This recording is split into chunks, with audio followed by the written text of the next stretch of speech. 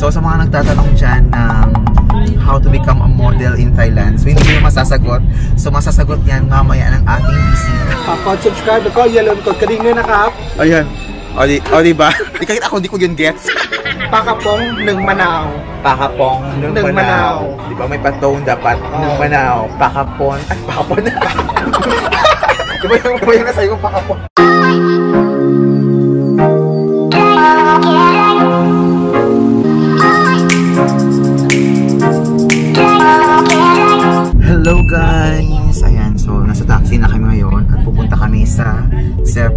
Later ko na siya i-introduce yung ating ano, guest for today's vlog. Ayan.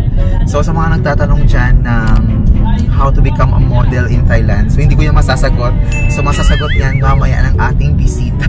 So nasa likod siya. So mamaya na guys, mamaya natin siya i-introduce. Muna tayo sa isang restaurant. Restaurant ba yun? Restaurant at, at habang nag, ano tayo, nag question and answer tayo ay Thai food mukbang. So parang maraming content tayong ano, um, maproduce sa ating vlog. So ayun guys, mamaya see you mamaya guys.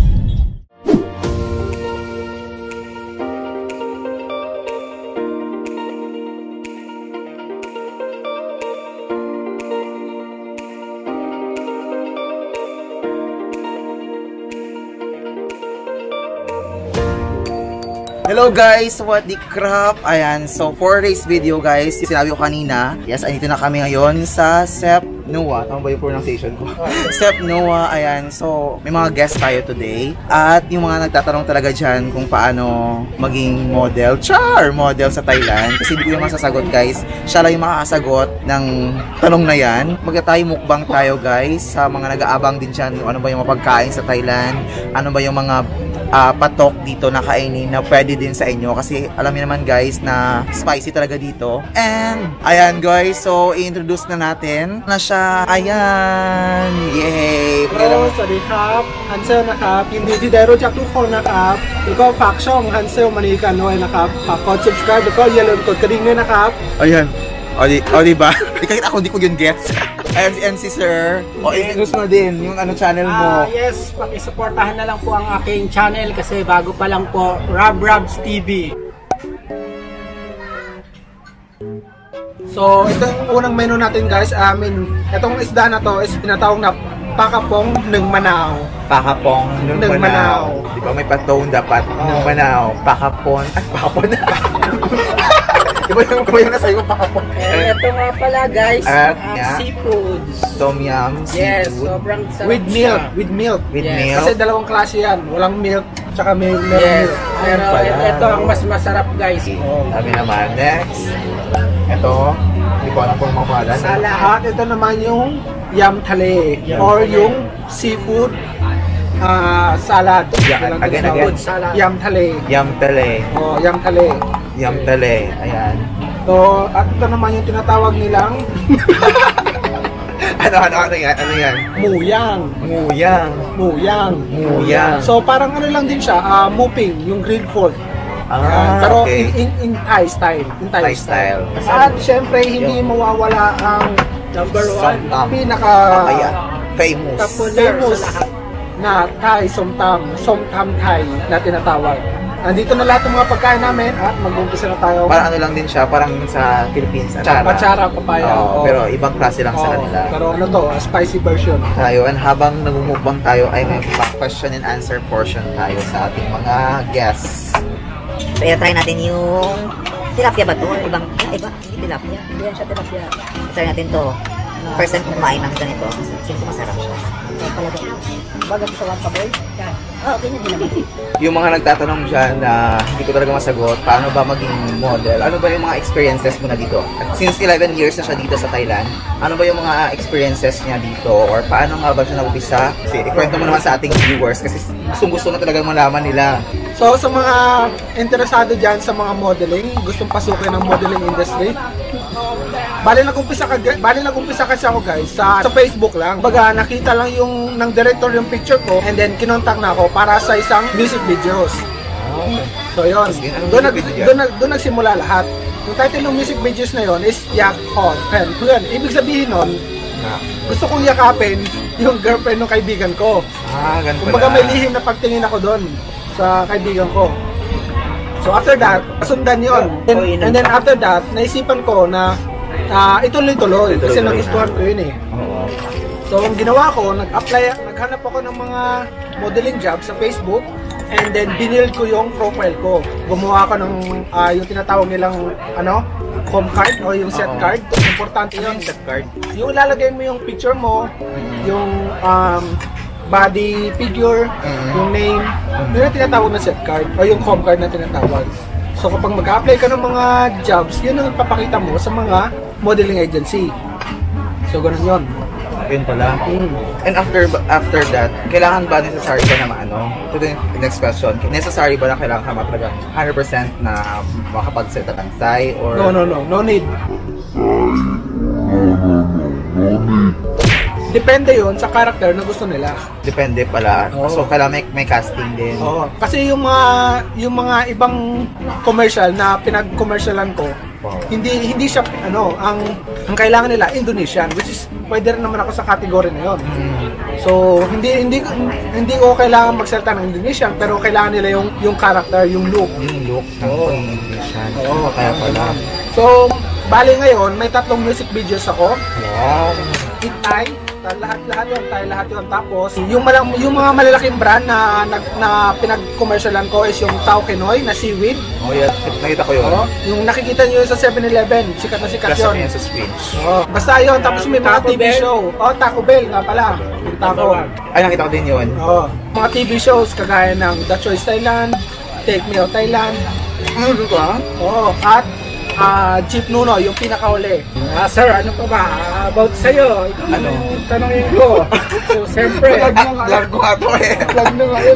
Sige, ikat mo na yan. Pwede, pwede kasi tanong ka. Ako pa pala. Sige, pwede, pwede. Then, sir, about sa pagbablog mo, kasi lalo na ako, kaya ako sa bago Ano? lang ako. So, ano bang mga pwede mong i-share sa akin para one of this day, para pag naging vlogger ako, hindi man dito sa Thailand o sa Pilipinas, ano bang step by step para maging ano ka sa tao? Popular. I think ano, be consistent lang sa pag-upload. Huwag mo isipin kung ano, ilan yung viewers mo, ilan yung subscribers mo. Yun talaga. Eh kasi yung iba nag-after ng, syempre nag-after kasi nalaman nila may sahod yung YouTube. Nag-after kasi sa sahod. So, I, I think yung sahod parang ano lang siya, reward sa pagiging, ano mo, Paghihirap mo. kasi oh, sa paghihirap mo, sa pag-vlog, kasi hindi naman, mahirap din naman mag-vlog, mag-edit ka pa. So, kailangan mo talaga bigyan ng time yung pag-edit. So, yun lang, be consistent, tapos be patient, kasi hindi naman, ano, hindi naman isang iglap, hindi naman tayo sikat na isang iglap, maraming, Yun, isang upload mo lang, maraming Yun din yung views. So, ayun, umpisa talaga sa maliit. So, wag isipin yung, ano, yung, yung sahod.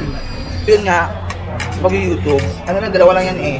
It's either yung makukuha yung ano, yung viewers makukuha ng happiness at saka makukuha ng information.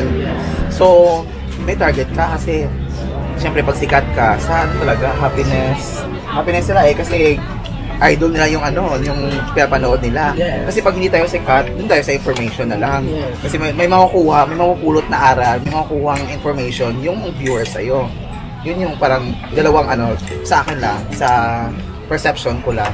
So second round ng ating pa-question and answer sa ating mga guests. So ano ba yung mga ano, ano ba yung mga nagustuhan nyo dito about at sa Thailand? Ano ba yung nagustuhan nyo? Bakit na tumagal kayo dito? Pwede naman, pwede naman sa ibang lugar, pwede naman sa ibang bansa. Bakit ano, Thailand? Bakit Bangkok, Thailand? Yung gusto nyo?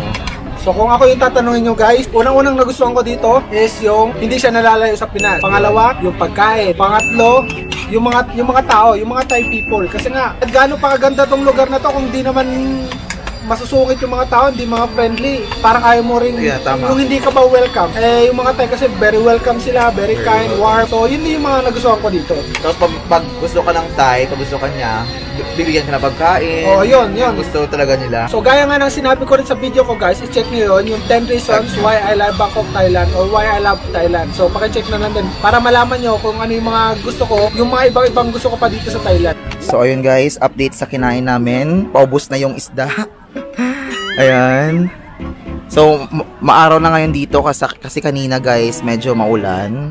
So, sa'yo sir, anong favorite mo dito sa kinain natin? Sa akin kasi, yun, Update na tayo. yung baboy na may, Yung parang grilled? yun, grilled grilled pork, tsaka ito, syempre okay naman yung isda ayan. para sa akin. Kasi Masarap hindi naman, hindi naman talaga ako mahilig sa sobrang anghang guys. Oo. Sa'yo, ano yung ano, sa'yo ang favorite mo? Ah, yung favorite ko talaga guys, itong isda na kakapong ng Manao. Tsaka itong tom yum. Kasi ako, mahilig ako sa spicy at mahilig din ako sa mga may mga sabaw. So, ayun. And the, rest, ma- masarap din naman talaga. Pero kung tatanungin mo ko, ano yung pinaka-paborito ko, itong dalawa.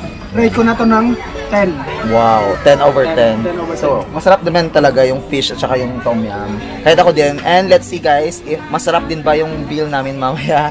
So, usually guys, pag kumain ka sa mga ganitong restaurant, mura lang din siya dito. So, hindi, siya, hindi ka makapaggastos ng malaking halaga. So, let's see guys mamaya. At saka, itour na din, itour ko na din kayo guys dito sa Sep Noah. Sep Noah. Sep Noah, ayan. Ano, makalimutan ko yung name. So, maganda dito guys. You visit here sa Nakun... Hindi sponsored ha.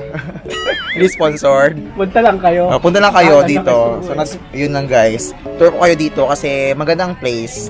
Very Instagrammable. Sa mga gusto mga uh, mag-Instagram dyan. Guys, so almost done na kami. Busog na busog talaga kasi sobrang sarap yung sinerve sa amin ngayong araw. And then, I hope na may, may nakuha kayong information about sa ating vlog ngayon. And yes, thank you so much, sir, mga sir, sa inyong pag-crop in Thai. Sorry ka again. Sorry ka again. So, salamat sa pag ano, pag pag-accept ng paanyaya ko today kasi maraming talaga nagre-request na na mag-collab naman diyan ng mga Pinoy na medyo ano sa buhay. Charot lang. So, yun guys. So, ilapag mo na yung ano, ilapag mo na yung YouTube ano mo, social media platforms mo diyan. So yun na nga guys, Ah, pwede nyo pwede nyo akong i-subscribe sa YouTube channel ko, Hansel Manikan, at pwede nyo rin akong i-follow sa ah, Facebook, sa mga social, social media account ko, Facebook, Hans Manikan, at Instagram, Hans underscore Manikan. So, Okay. Subscribe nyo guys kasi para ano, doon, guys. monetize na siya para happy lahat. So, sir. Yes, magandang hapon sa inyo. Please follow me at Ken Ken's TV. Kenton's Yes. TV. Um, my Facebook account is Ken Rojas. Thank you guys. Ayan guys, so follow nyo sila and subscribe nyo sa kanilang mga YouTube channel. And I, I hope na nag-enjoy kayo sa ating vlog today. At saka guys, comment down below sa gusto mo pa shoutout dyan. Don't forget to hit the notification bell for more updates and subscribe na guys para malapit tayo sa road to 50,000 subscribers. Yay! And guys, see you in my next vlog. Bye!